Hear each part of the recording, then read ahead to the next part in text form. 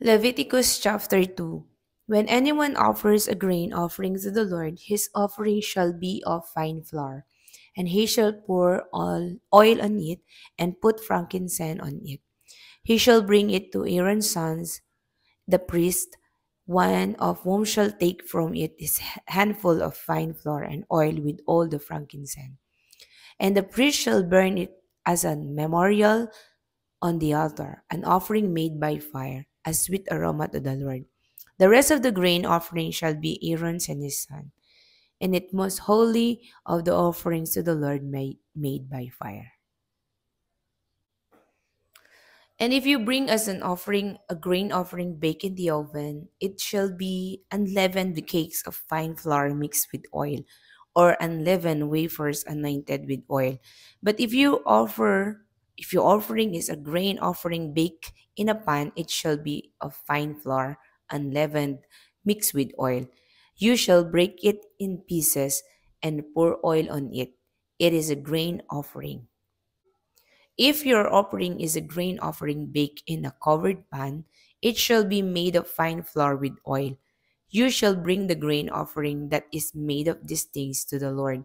And when it is presented to the priest, he shall bring it to the altar. Then the priest shall take from the grain offering a memorial portion and burn it on the altar. It is an offering made by fire, a sweet aroma to the Lord. And what is left of the grain offering shall be Aaron's and his sons. It is most holy of the offerings to the Lord made by fire. No grain offering which you bring to the Lord shall be made with leaven. For you shall burn no leaven, nor any honey in any offering to the Lord made by fire.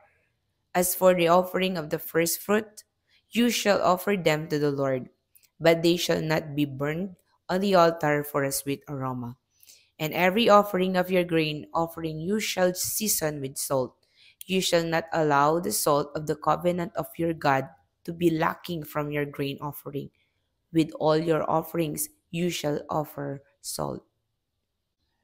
If you offer a grain offering of your first fruit to the Lord, you shall offer for the grain offering of your first fruit green heads of grain, roasted on the fire, grain beaten from full heads, and you shall put oil on it and lay frankincense on it.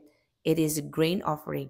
Then the priest shall burn the memorial portion, part of its beaten grain and part of its oil, with all the frankincense as an offering made by fire to the Lord.